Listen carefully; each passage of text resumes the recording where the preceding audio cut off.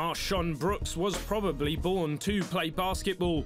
After several seasons overseas, he made his debut in the Turkish Airlines EuroLeague at the age of 25, quickly becoming a key player for EA7 Emporio Armani Milan.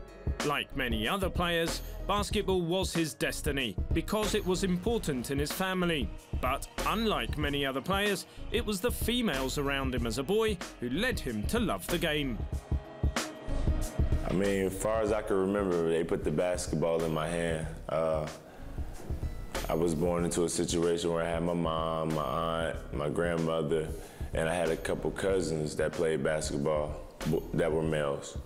And uh, I remember playing basketball with them early. And then me and my mom, uh, we moved to Atlanta, Georgia. Just me and her. And uh, she just kept me on that track.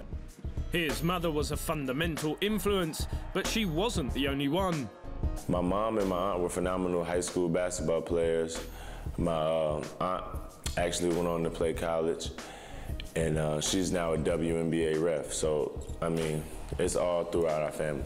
Besides playing as much as he could, from a very young age, Brooks was watching basketball close up too, thanks to his aunt. I just remember going to her games. She was refereeing high school when I was around three or four or five and six. Now she's actually one of the, one of the best referees in the WNBA. It wasn't long before MarShon was shooting hoops in his home and playing with older members of his family. Organized basketball around five. Uh, but I was playing shooting at three, four. I was fortunate enough to have a, uh, a basketball court in my driveway, so I was shooting as far as I can remember, trying to play with my older cousins. Although there were moments when he tried other sports, there was never any doubt in the mind of Brooks or of his mother as to which one he would pursue seriously. Yeah, I played football growing up too. But uh, basketball was just my first love. It was, I mean, like I said, as far as I can remember, I've been playing organized basketball when I was this big. My mom has the pictures on the refrigerator. It's kind of cute. But uh, yeah, I, I, would definitely say that she pushed me towards basketball. And I, that's what I wanted as well. Brooks was always a talented shooter and scorer, but it took a lot more than that to impress his mum. She's my biggest critic. You know, scoring's always been something that came easy for me since even since I was little. I could shoot, just score. She would always say, well, you had this many points. How many rebounds did you have? How many assists did you have? How many steals? So it's hard to impress my mom. I would say I would tell you that, even to this day.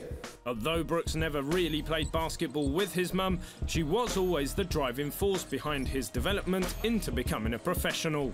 Well, I played with my mom one time. One time. I probably was six or seven at the time. But uh, she just made sure I was on track, you know, taking me to practice on time, making sure I was early to the gym, and then, you know, on top of that, after practice, I would go play with my friends. After all these years, his mother and his aunt still provide Brooks with invaluable advice. We definitely talk, and they watch all my games, so they have their advice, their two cents they throw in. of course, that's never gonna stop, especially from my mom. Uh, my aunt, she's a little easier on me, but my mom, yeah. The conclusion for MarShon Brooks is clear. Men can definitely learn from women in the sport of basketball. What matters isn't gender, but rather devotion. No question. Uh, female or male, I don't really think it makes a difference. We're talking about two females that averaged 20 in high school and went on to college. My aunt went on to college to be a great player, and then so uh, it really doesn't matter per gender. But uh, yeah, I think it was a, a great advantage.